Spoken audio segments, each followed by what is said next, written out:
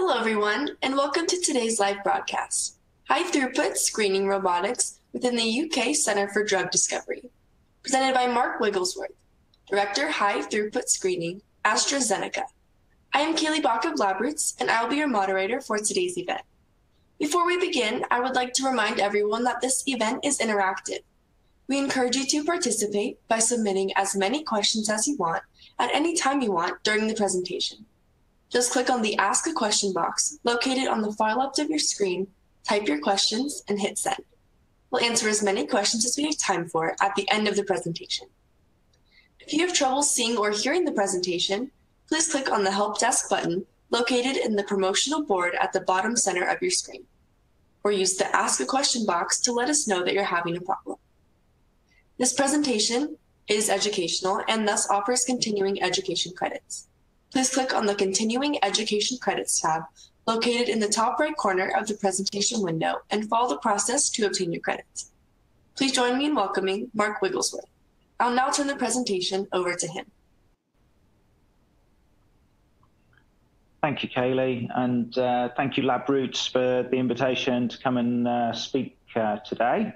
Um, I, am going to talk to you about the uh, high throughput screening uh, infrastructure, the uh, collaborations um, that we've put together to support that infrastructure, um, and uh, the innovations that we've made uh, along the way uh, through those collaborations. And uh, at, at, the very end of the presentation, I'll also take you through um, reliability, why that's important to us, and uh, how we're going to support this screening infrastructure moving forward. So the UK Centre for Lead Discovery um, is a centre created by AstraZeneca. It's been created, uh, at least in part, uh, because of an opportunity to move our um, research and development facility within the UK. Um, the facility uh, classically was uh, near Manchester for AstraZeneca, uh, and this will relocate to a new building uh, near Cambridge. And uh, with that, we've had an opportunity to look at uh, the entire uh, supporting infrastructure across compound management and screening and really redesign that in the best possible way. Um, as we've been doing that, we've also been thinking about um, the, the ways in which we can work. And the UK Centre is really about um, develop, de developing uh, new approaches to high throughput screening, new approaches of finding molecules uh, that ultimately um, will uh, help patients. And we're doing this by collaborating with groups like the Medical Research Council and Cancer Research UK. And what will be happening in this new building is that their people uh, will be working alongside AstraZeneca's people, running their own projects. And uh, they'll be free to take their projects um, outside of the building and continue to work on them within their own infrastructure. And uh, uh the only thing that we ask in return is that if there's something uh, that does become um, uh, potentially a, a medicine, uh, that they come back to us and we have a first right to, to offer them a market rate uh, on, uh, on, their discovery. So really quite a different way of working uh, and, and quite a different way of um, uh, running the science within the facility. And this isn't uh, the only way in which we're changing, the only way in which we're, we're looking to drive new collaborations. Um, this slide uh, shows just a, a, few of the collaborations that we've put in place in AstraZeneca uh, over the last few years, uh, more than 100, uh, covering many different areas. But, but it represents uh, a really, real drive to embrace what's outside of AstraZeneca, to work with other companies and create shared value. Um, our Open Innovation website also reflects this. Uh, on this website, you can go on and gain access to our cl clinical compound collection, uh, perhaps for repurposing. Uh, you can nominate uh, new chemistry that uh, you might have within your establishment uh, to come into our screening collection. and you can actually nominate projects as well, targets that you want to bring either to screen with us uh, in, in the UK centre um, or uh, targets for which you, you would like to access uh, diversity collections uh, to screen uh, externally. And, and these external collaborations are um, a, an important part of our open innovation offering. Um, slide here uh, shows uh, or, or, gives you some feeling um, for, for uh, how this is um, distributed across the globe. And, and we now have uh, over 79 um, projects in this portfolio where we've shared uh, compounds for, for people to advance their own projects. And the input from AstraZeneca isn't just about sending them those compounds, it's also about um, guidance on assay development, uh, screening cascades, uh, workup on uh, computational chemistry and data analysis so that the right compounds can be found uh, and hopefully that will uh, lead to a successful uh, project completion. And if we turn our attention back to um, the UK Centre, um, here uh, we're screening those collaborative projects. Um, if we go back to 2014, uh, we, we haven't run an open innovation screen of this type at all. Um, only in recent years uh, have, have, we started to see a growth in, in this portfolio, uh, with actually a projected growth out to 2020 of 20 screens within this portfolio. It's really quite an astonishing uh, rate of, of, growth over over five years. And this has been driven, there's been, been a, a lot of uh, forward to this, of course. It's been driven by the open innovation portfolio that uh, I, sh- I, shared, or the website that I shared uh, a few slides ago. Um, the uh, global academic community being able to propose projects into this portfolio, but also those strategic collaborations I about with the Medical Research Council and Cancer Research UK. And all of these came online through 2015 and 16. We're now also seeing an opportunity to work uh, with other groups in, in a different way. Um, we've uh, recently announced a collaboration with Charles River. Now, here, um, Charles River will be able to bring uh, their own customers' uh, projects into the UK Centre and they'll be able to screen uh, their customers' projects on our infrastructure in a shared uh, cost model. Uh, again, uh, bringing benefit to, to both organizations in the infrastructure that we will have created.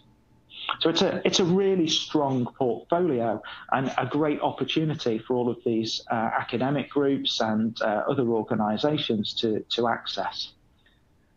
And uh, the next slide here on uh, slide eight is a, a, photograph of one of the robotic systems, um, but we'll also be able to move to a video of this facility. And uh, just in, in a moment, uh, we'll play you a, a, video so, so you can see really what, what is on offer.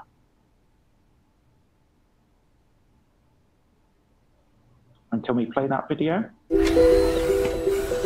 AstraZeneca are entering a new era in drug discovery by unveiling the world's most advanced drug discovery robot. We decided to take the very best of all our learning from the past two decades and say, if we had a blank sheet of paper, how would we do this? Rather than have to change the science so as it would fit with the robot, it was really important for us with these new robots that they should work for the science.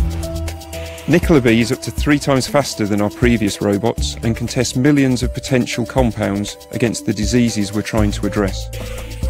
Acoustic delivery technology, when combined with Nicola B, will allow us to work in a way which is not only more efficient but more sophisticated. Unlike other robots, Nicola B can work safely next to our scientists and even be controlled remotely via a tablet. This gives us a better chance than ever of finding suitable compounds which can progress into potential life changing medicines of the future.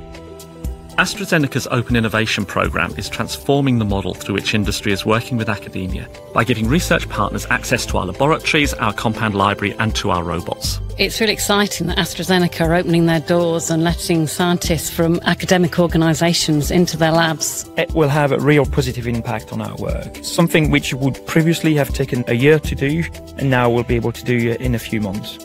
Partnerships allow us to work with real world leaders in specific areas, sharing scientific knowledge, process knowledge, and technical knowledge for the benefit of all parties. This will enable us to push the boundaries of science and deliver more life changing medicines than ever before.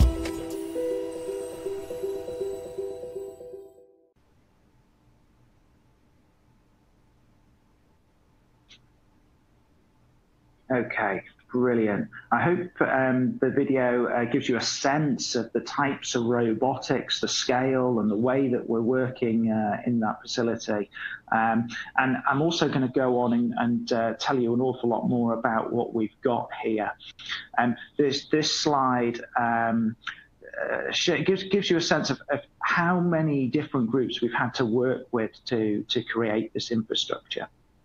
Um, I'm going to tell you first and foremost most about uh, collaboration with HighRes, about collaborations with some of the other groups that are on this slide. Um, but you may also have seen uh, presentations on other collaborations uh, between Labcyte and Waters to create an acoustic MISS uh, mass spectrometry platform for screening, uh, or between uh, Labcyte and Brooks in creation of an acoustic tube project for compound management. Uh, again, here to, to accelerate uh, project management, uh, sorry, compound management workflows and the efficiency of, of storage and dispense. Um, I'm not going to go through the details of those today, but as, as I've already said, if you do look online, you may well be able to find those as well. They do form part of the UK centres infrastructure. So first off, the uh, collaboration with HighRes. And here we wanted to build a different type of screening automation We'd had experience of working uh, with HighRes and with uh, Agilent uh, BioCels over recent years, and we liked the way that these fully automated systems were able to build some quite complex uh, assay systems. But all of these uh, screening robotics uh, are enclosed, and it really limited how we could use the equipment within them. Um, historically, um, fully automated systems were perhaps a little bit more open, but um, were, were more limited in their construction and what they could deliver. And whereas we liked the uh, flexibility and ease of use of the smaller robotic systems on the bottom of the slide, you know, the modular uh, dispense systems, they, they don't offer, offer the complexity of screen that, that we need um, with high throughput screening. And so we decided to work with um, HighRes Biosolutions, and we decided to work with them because we liked their uh, mobile cart system and their MicroDock system, which uh, for us we felt provided a, a leading um, uh, automation platform for, for high throughput screening. But we didn't really like the way uh, once the cart was uh, undocked, it was difficult to use, or, or actually if it was um, uh, docked onto a system, sometimes it was it was difficult to access. Um, you could improve the, the throughput uh, if your reader happened to have a stacker on it, um, but quite often we put equipment onto these systems and, and then not be able to use them for other things. And so that quickly moved us to the concept of a mobile cart that had its own robotics. And the design on this slide uh, shows the uh, precise robot arm on a cart system. And uh, here, even when undocked, we're able to move plates round from stackers to, to what is on here a dispense cart to make additions of different types from different dispensers. And it gave us a, a, a, high density platform where we could put lots of different dispensers or readers or other things onto. Um, and this was important again for our transition into a new building with uh, limited space. Um, and it also created a, a, common automation capability. And we're able to uh, iterate on these uh, cart systems. We'll show you that in, in a slide or two's time. But if you take a, a, closer look at what we've done on these carts, uh, you can see, and uh, you might have got a sense in the video as well, that these are really open. Uh, the photograph on the left-hand side shows uh, access to the um, dispensers, uh, as well as the, the, robot arm to the bottom right and uh, the stacking system in the middle. There's a centrifuge uh, underneath that stacking system as well. All of this equipment is accessible. It's easily accessible to the user um, just to observe and do manual uh, quality control. Um, and it's easily accessible if you just wanted to come up to this system to to run one or two plates uh, rather than running it on a, a fully automated um, uh, platform. Some of the things that we've done with these carts uh, to improve their functionality as well with the, with the dispensers is introduce uh, multi-port valves. These permit us to run uh, our assay reagents through the dispensers and then switch to cleaning reagents uh, unattended, and this can be programmed. Uh, and uh, we have gravity drains from these dispensers that plug into the into the floor, allowing us to take our waste away efficient, efficiently. Uh, on the bottom right, we can see um, ducts that uh, sit over the equipment. This allows, allows us to connect to air vents to remove any um, potentially noxious uh, gases and make additions for um, key cell uh, reagents or, or, or, reagents key in cell assays, such as formaldehyde. If we look more broadly at the types of carts that um, we have uh, in in our laboratories today. Uh, we have everything from the dispense cart that we've had a closer look at, um, through to uh, acoustic transfer carts, uh, shown uh, again in the middle of the slide. Uh, a contact pipetter, today it's a VPREP, but will soon become HighRes's Prime system. As well as our reader systems, we, we have our BMG FSX um, multi-mode uh, reader as our main workhorse within uh, the high throughput screening uh, laboratory, but we also have um, more complicated reader systems for uh, cell imaging, the CellInsight shown there bottom right, uh, transcriptomics capability, and the introduction of label three technologies like the Corning EPIC. Um, all of this enable us to build quite a complex um, portfolio of different assays. And once we got this um, cart system uh, up and running, we're able then to um, connect cart systems to each other. And you can connect, for example, a dispense cart with your multi-mode reader and build very simple biochemical assays. Uh, we can introduce uh, Liconic uh, cart systems uh, for storage of plates, where we might do a dispense, store uh, a cell plate before moving it onto our um, cell imaging uh, system. And, and there we can start to bring in more complicated assay systems. But we can't run everything uh, through these CART systems. We have to also have more complicated uh, robotic systems. And here we had to start to look at evolving the uh, MicroStar platform that HighRes had.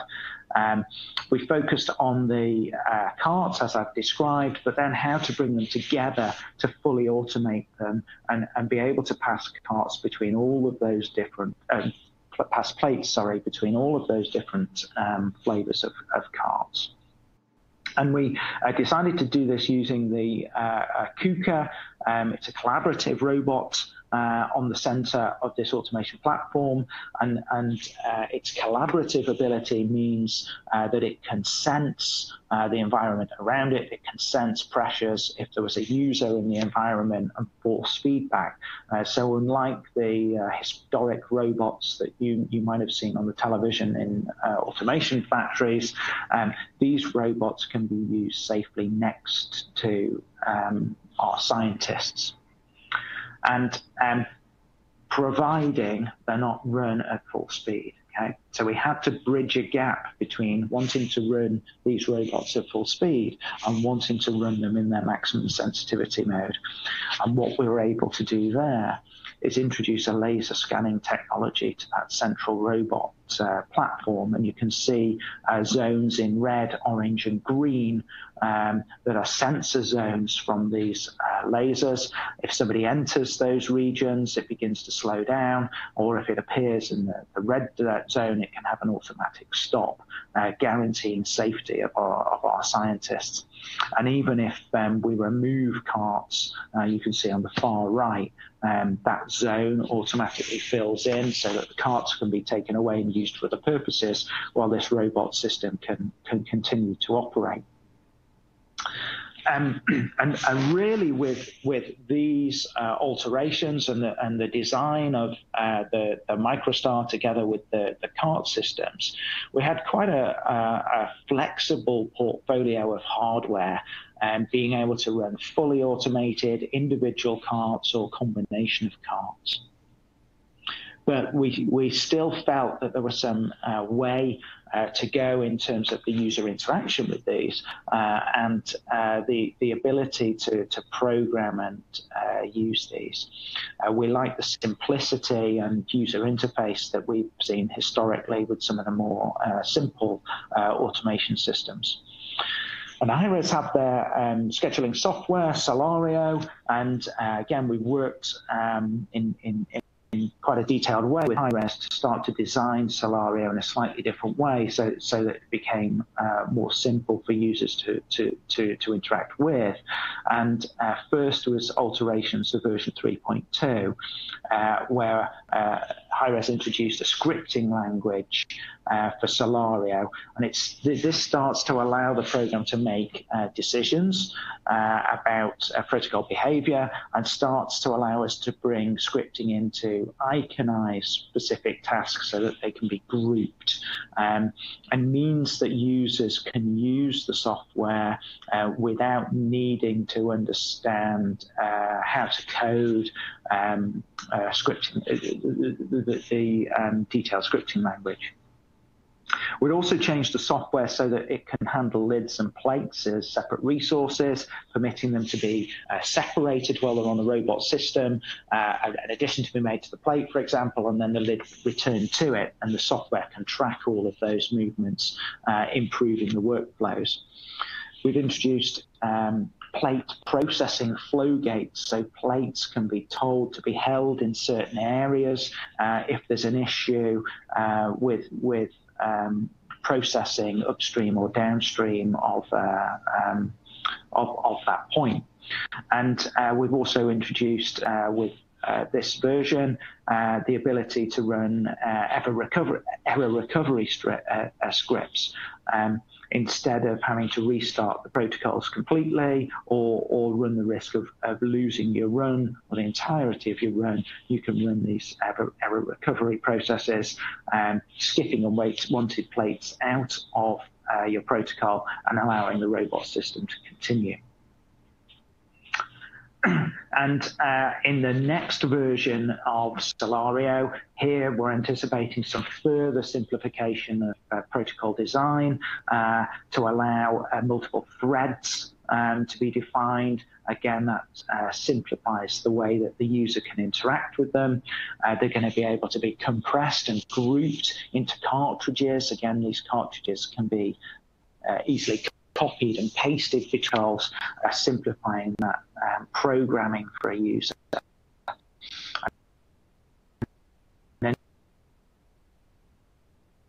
enabling the to shrink as a super user, an engineer, or, or somebody who's just wanting to run their, their protocol on a daily basis.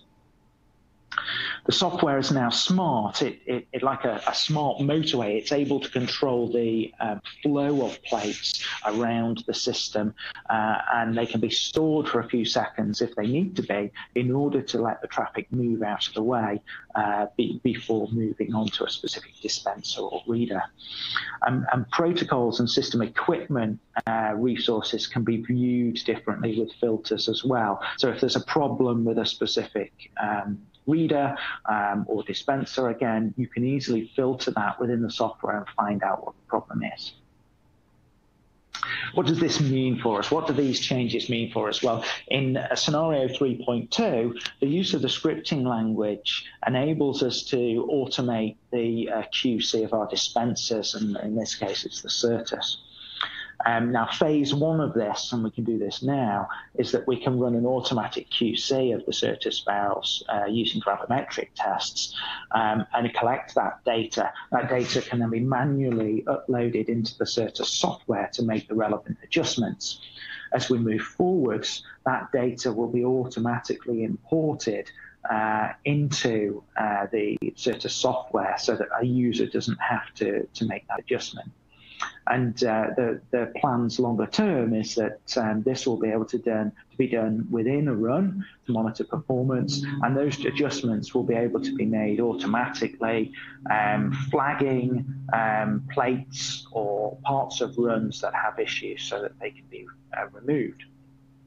In the next version of our software, Cellario 3.3, um, the interconnection of um, the uh, robot system with Genedata, which is our um, database for analyzing uh, our screening uh, data. Um, this uh, will allow us to run pharmacological QC live through a run and have that automatically analyzed. Additionally, we'll be able to do things like uh, run um, imaging plates uh, with a, a, quick pass image, uh, pick out wells that are of interest, and go back and do a full image analysis, giving us the, the high quality images that we need and the throughput that's associated with high throughput screening. And next, I want to go back to um, some of the uh, collaborations that, that we've had in place outside of these large uh, pieces of, of, infrastructure. And I want to talk to you about the uh, collaboration with Gyger in Switzerland and their Certus device. Um, if we go back to 2015, AstraZeneca ran a, an evaluation um, of uh, a number of different dispensers, and at the time, the, the Certus was selected as the dispenser that best fitted our needs across um, the assay development and screening groups within our central service organisation. Um, it's a dispenser that very capably dispenses a, a, wide range of volumes from 50 nanoliter to 5 mils. It can do that in 384 and 5036 well plates very capably, uh, and it uses a, a micro valve technology uh, to enable this. However, for, for high throughput screening, there were still some limitations on, on the throughput this device. And so we've worked with Gyger uh, to implement some changes that have really helped us. And some of these are really simple changes, and, and I'll explain them as we, as we move through. Um, but they can make quite big differences to, to what you can achieve within a high throughput screening environment. And the first one is the creation of an angled dispense head for, for this um, uh, device. And if you look at the photograph of the wells in the, the top middle of the slide, uh, you can see uh, in pen written on the plate, this is the different angles that were trialed. And at the bottom of that image, we've got zero. And as you look across the, the two rows of um, uh, wells and dispensers that have been made, you can quite clearly see lots of air bubbles within those wells. Those air bubbles, um, if left as they are, um, can really affect the quality of your assay. So the table um, underneath that uh, image, uh, row five and six, the red text, shows uh, the CV for, for a biochemical assay where we've not centrifuged. And clearly that CV is not acceptable for the quality that, that we need to reach uh, within a, a screening organisation. So you have to spin these plates, that's row seven and eight on that table to reach uh, an acceptable uh, uh, CV and quality, uh, but that takes time. Okay, so what we've done by introducing the angled head, and you can see this in, in the photograph where we started, uh, by introducing the angled head, you remove the air bubbles. Uh, and again, on the table, we can see that in rows uh, one to two, without centrifugation, we still reach a, uh, an acceptable CV. Um, as we would if we span those plates. Um, but this time we're doing it with, with quite a significant time saving. The other added benefit for this um, system is that um, instead of dispensing reagent directly into the well, if you're running a cell assay where that can uh, displace cells and uh, affect the quality, um, here you can dispense down the side of the well and, and run a lower risk of dislodging those cells, uh, again, delivering a higher quality to um, the, the screening assays. In addition to this, um, when we first started using um, the Certus system, it was actually quite difficult um, to uh, use uh, uh multiple valves uh, across uh, the, the dispenser and uh, it had a, a four valve uh, dispense head. And uh, we've worked with um, Gyger um, to fully understand how we balance these, how we calibrate them, and there's some improvements in the software now, which, which greatly improved that. On the left hand side, uh, the top plate there shows uh, the types of issues that you see if this is, isn't done properly. The top, um, I think it's eight rows, dispensed with um, one valve, uh, and clearly that valve is very different to, to the rest of the valves on, on the plate, uh, which, which causes then a, a, an issue with, with the data quality. If you balance that, you can reduce the CVs to, to 4% and below and improve the quality. Uh, and as you would expect, um, using um, four valves uh, as opposed to one valve um, doesn't affect the pharmacology, and that can be seen on the far right. Yet, it is significantly quicker. And further improvements are, are planned in this space. Uh, Gyger have now also developed an eight-channel head, uh, which we're expecting to get hold of in the in the near term to, to fully validate as well. Um, but all of these things make a big difference to high throughput screening and what you can do. Um, and in the meantime, as well as um, looking forward to that eight channel head, we've also been working with Gyger to develop their software to allow us to uh, run uh, the, the four channels in parallel to make two different uh, liquid dispensers. And classically, the only way to do this would have been to make a, a single dispense with four valves and then uh, move that plate, physically move it to another dispenser and run another dispense. That, that would take around 50 seconds per dispense. Uh, with this new system, with the changes in the software, we can make both additions uh, to, the, to the single assay plate in just over a minute, effectively halving the time and again maintaining the quality of signal as, as you can see on the right hand side. Now, um, the final piece of um, innovation around these dispensers has been um, actually in creating smart drains. I told you previously that we had these systed into the laboratory floor so that we can drain waste and excuse me, work effectively at the weekends uh, by running these systems uh, unattended. Um, now we can be absolutely sure that the system won't create um, waste, uh, solution waste, um, when when the system isn't connected. And this is simply done with an RF um, ID tag uh, and connector so that um, that um, signal is only made when that uh, device is plugged in and the software within the automation will only let these um, dispensers function and generate waste when that connection is made. Really simple uh, innovation, uh, but gives us high confidence then that we can run these systems unattended over the weekend without any concern of, of um, waste bottles overflowing or um, waste uh, uh, being allowed to escape into the laboratory. And uh, finally, in terms of the collaborations and, and, innovation, I want to talk to you about uh, a collaboration that we've been running with IonField Systems. Um, now, IonField Systems have a device called the uh, plasma knife, uh, and this consists of a centrifugal plate washer a plasma source, a control module, and a series of, of wash and waste bottles. They're not shown in the in the photograph, but I do mention them because they do form um, quite a significant part of this in terms of um, the physical size of, of the um, uh, to total uh, equipment. Now, um, working with a system to clean plates, um, of course, sounds like a, an excellent idea um, because of the potential impact on the, the cost of screening and reduction in, in plate use um, but also because of the environmental impact as well, if we can reduce the, the plastic waste that's generated. And AstraZeneca entered into a collaboration with IonField Systems in their beta test program back in 2016. And, and we've done a lot of work with them uh, over that time period to establish um, really excellent cleaning protocols and reliability of, of this system. Um, we've also now been working with uh, NCATS, uh, who had a separate collaboration with, with IonField Systems, and, and we're now able to share experiences and maximize the benefit of this.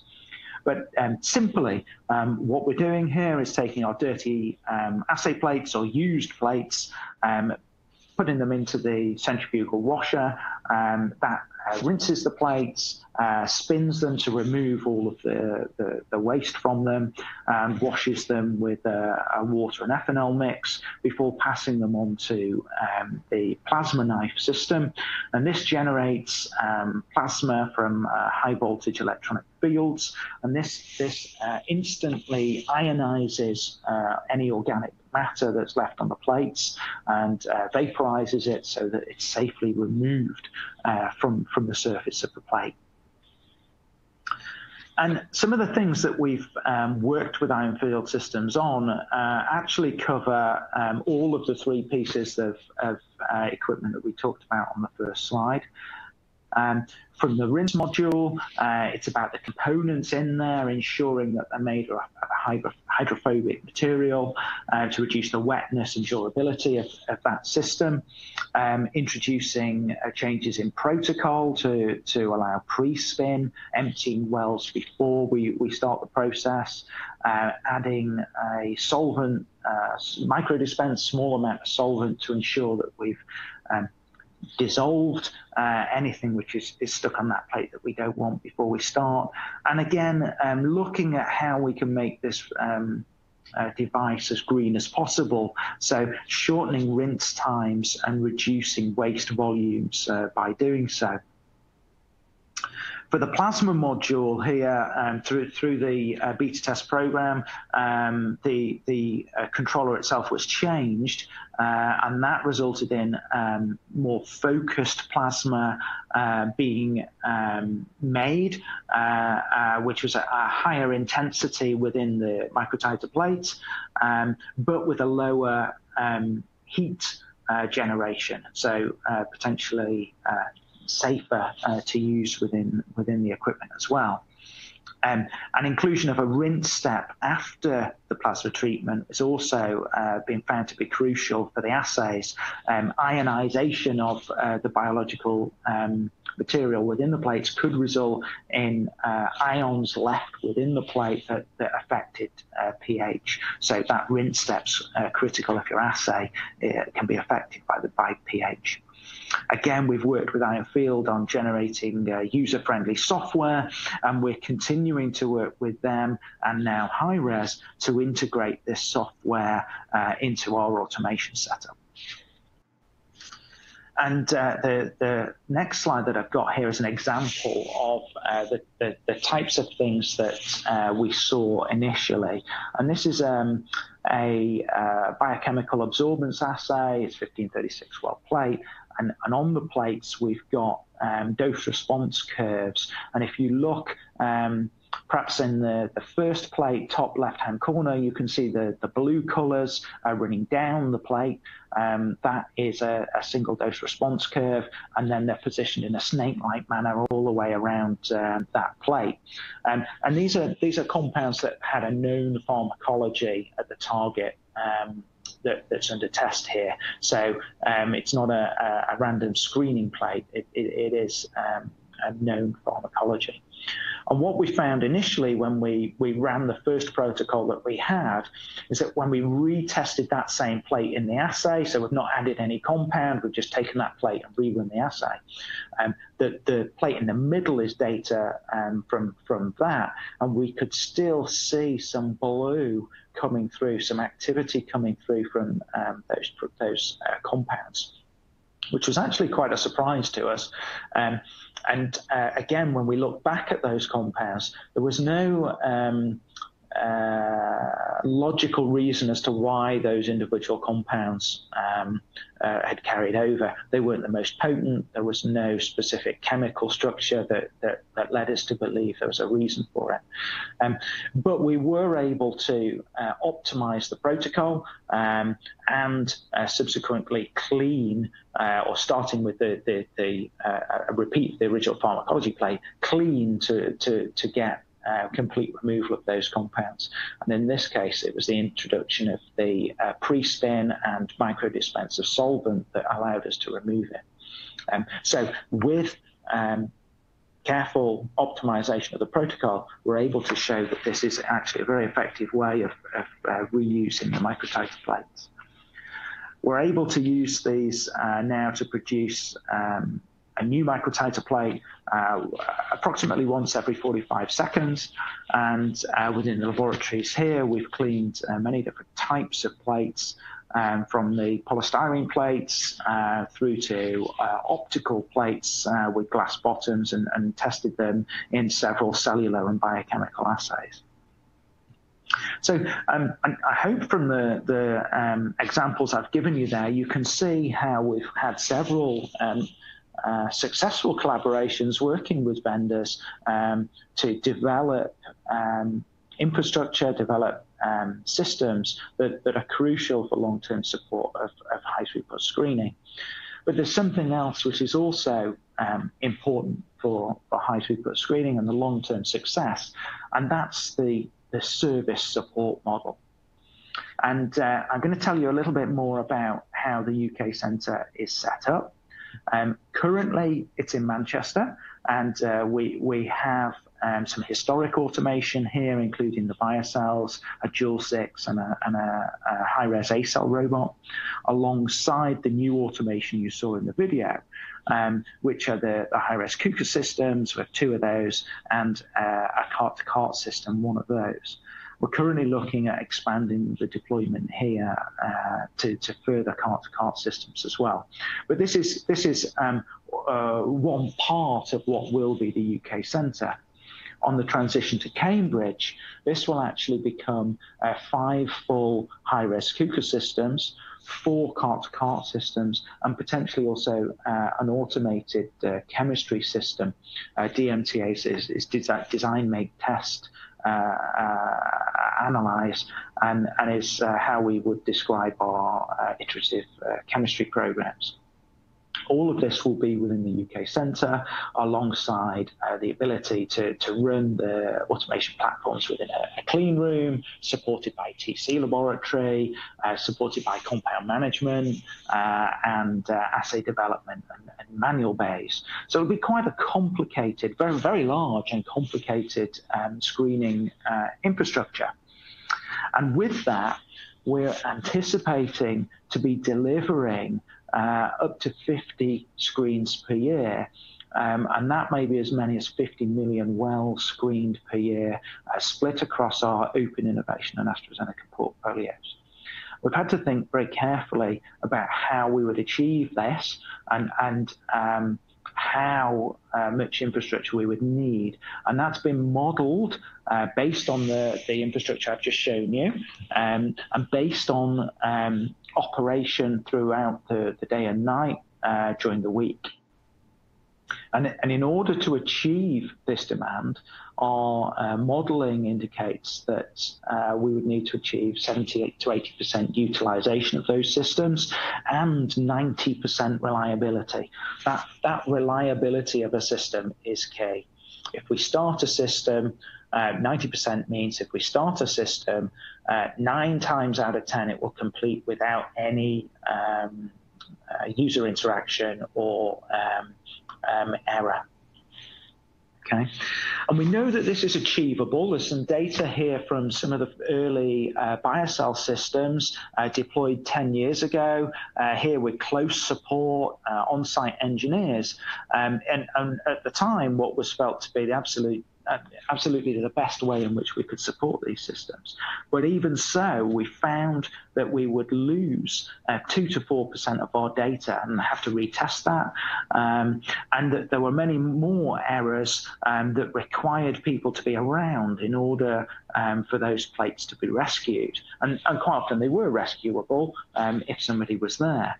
And in addition to that, what, what we observe in this data is that many of the the issues uh, saw uh, occurred because of human error, and that's the complexity of using these systems. And a lot of what we talked about in terms of the software is about reducing uh, the complexity of using them and reducing that human error. But clearly, we also need uh, a, an engineering and a support um, group uh, to ensure that the new systems can reach this level.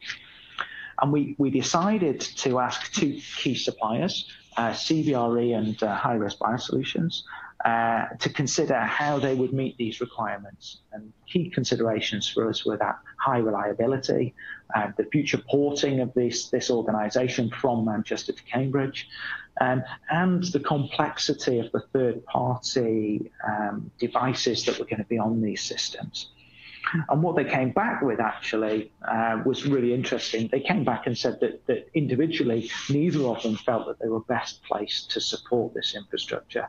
And, and so instead, they proposed um, that they work together in, in a collaboration in order to deliver that.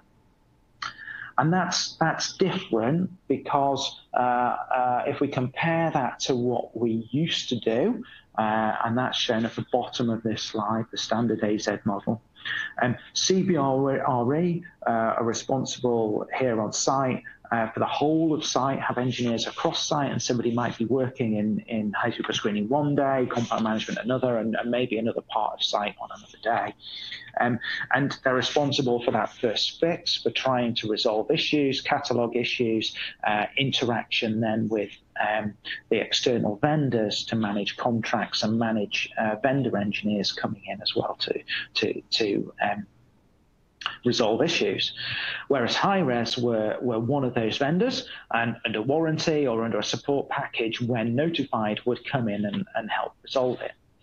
And what we've been able to do for the first phase here, oops, I've gone backwards, first phase here in uh, Manchester is, is get an enhanced um, support model.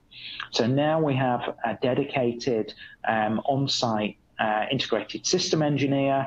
Um, so they, he, only operates uh, with us uh, on site, not on anybody else, and is based within the group. So that uh, ease of interaction uh, and, and uh, communication is much better. And we also have an application specialist as well. Um, and this helps both with um, training of our users, but also helps the engineering side because there's somebody there that can work with them to ensure that equipment, once it's been fixed is operating successfully before it's handed back to our scientists. And HighRes's part in this has been that um, they're now on site three days a month for dedicated support beyond their ordinary support package, and they're working very closely um, both with AstraZeneca staff and with CBRE to train them to ensure that quality of what we're getting is, is as good as it possibly can be. And on transition to um, Cambridge, we're anticipating that the support model from HighRes will, will increase and we'll have, as well as on-site um, CBRE support, we'll have uh, on-site HighRes uh, personnel uh, for engineering, software and applications, um, really driving a close collaboration between these two groups and delivering the best possible um, service to, to both AstraZeneca running our screens, but also our collaborators that will be within this space. And I want to finish in the last few minutes of, of this presentation to give you an example, uh, a couple of screens uh, that have been run on our, our cart-to-cart systems, uh, the types of screens and, and the reliability that, that we've been able to, to see. And the first, the first high throughput screen we ran on these systems actually uh, on on the the cart-to-cart system was a cell-based um, GPCR assay using this DiscoverX technology. And this is a technology where we ran uh, the seeding of the uh, cells into the plates offline uh, and incubated them offline before transitioning them onto this screening platform. Uh, once on the platform, uh, an agonist was added. Um, so we were looking for an antagonist in this case uh, in our screening approach. So we added an antagonist, incubated for 90 minutes, added our detection reagent, incubated for a further 90 minutes before reading on our multi-mode reader. Um, so a relatively simple uh, uh, screening platform uh, or, or, screening cascade. Um, and uh, this this saw um, 1.8 million compounds uh, across a 22-day screening uh, campaign. And I'll move on to the, the second screen as well to give you some details on that. Um, this uh, was a more complicated cell imaging campaign, but most of the pre-work in preparation for this assay was done offline and was done manually. So uh, the, the, addition of, of antibodies and uh, compounds and washing was all done uh, offline. Um, but there was still a, a bottleneck with the ability to read these plates on the CellInsight Hence, they were transferred onto the cart-to-cart system uh, in order to maximize um, our use of those systems. And on this, in this case, it's a workflow that represents um, storage of our plates in a, in a Steristor, um, transfer to uh, storage at room temperature on the cart, uh, reading, and then uh, uh taking back into a, a Steristor for, for long-term storage. And what we found with this assay is that um, by doing this, we're able to dramatically increase the number of plates that we could generate and store. So instead of just having the, the um, 48 plates on the cart, we can now use the Steristor to um, store plates and run uh, a long time into the weekend. Um, and uh, uh, run into the weekend without people needing to come in and reload. Um, the four degree storage uh, followed by incubation at room temperature was critical for this assay because it improves the signal um, by moving it to, to room temperature uh, and allows us to, to only have it at room temperature for the period that we need it. So there's no long term uh, degradation of um, the sample by leaving it at four degrees. And uh, uh, finally, by not having large numbers of plates out on the platform, um, because of the way we're moving them to, to and from cold storage, the risk should something go wrong is also uh, much smaller. And um, finally, uh, the, the, the, the um, proof of the pudding here is uh, across these two assays, uh, really low failure rates achieved. Um, and what we found is we've actually completely eliminated human error on these platforms, which is which is a great um, success. For, for the first HTS, um, the DiscoverX um, GPCR assay, uh, we did lose 14 of um, uh, 1,500 plates, and that was a, a dispense error. Um, and uh, that's unavoidable. Sometimes those things do happen. Um, we did have occasion where there was um, a failure in um, one of the pieces of software for the for the plate reader. Um, 50 plates failed to read, um, but because of the nature of the assay, we were able to restart. We didn't lose those, and that bug in the, the software is now being rectified, so that won't occur again. And uh, the second uh, screen here, uh, the more complex cell screen, again, a very low uh, loss rate due to that improved storage. Um, nine screening runs uh, were completed um, on the, the system, uh, many of those out of hours or over the weekend, and we did only lose one of 500 plates, and that was due to uh, an error on the, the CellInsight. Uh, again, we believe that we can avoid this in the future. There were, there were two other separate automation errors uh, around process flow and data storage. Um, that did delayed plates and meant they, meant they weren't read when they were supposed to. But again, due to the cold storage, we were able to reread those so they weren't actually lost. So the quality of, of what we've got here um, in reduction of, of uh, rework and elimination of failure is, is very, very high. And uh, I want to finish the presentation actually um, simply by acknowledging um, the team. Uh, this is a, a, photograph of my team, the high throughput screening group at AstraZeneca, on uh, one of our um, away days uh, last year and uh, really successful day. Everybody's in, in, enjoyed themselves there, um, but actually really enjoy doing what we do, um, working with the vendors, uh, collaborating uh, within and outside of AstraZeneca to deliver really what, what is a, a, high quality infrastructure and, and success to projects. And with that, um, I, I will finish and, and take any questions.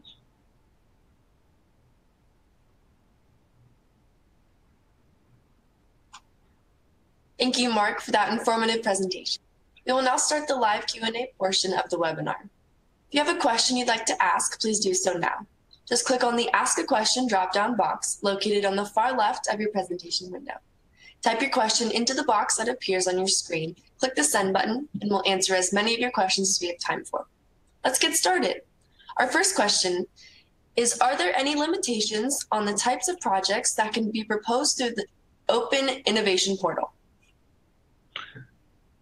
Uh, okay, thanks. Um, the, there are um, no limitations on proposals, although um, the uh, projects that AstraZeneca would select to advance are projects that align with the, the key disease areas um, that, that uh, we work in. So the information is, is within the portal on those, and they broadly align to uh, respiratory and inflammation, um, oncology, uh, cardiovascular uh, disease. And we have some interest, uh, opportunistic interest as well around uh, neuroscience. Um, the, the individual uh, collaborations that we have with the Medical Research Council um, are more open. They can bring in any um, disease area that they feel is valid for them to support. Um, and the Cancer Research UK collaborations are, are limited to, to the oncology space. Great, thank you. Another question we have here asks, how do you go about starting a collaboration with a vendor to develop new equipment?